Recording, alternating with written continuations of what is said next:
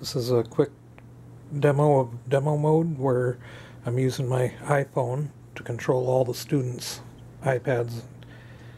So whatever I choose on here is all that the students will see. So you can stay on one word, you know, keep everybody the same.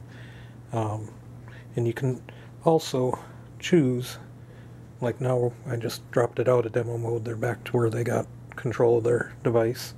But when you go into demo mode, you can choose which students' iPads you want to control. So maybe you don't want everybody in the room um, demoed to. You got somebody who can work independently. You just let them do their thing. So now when I choose something on here, it only chooses the devices I want to control.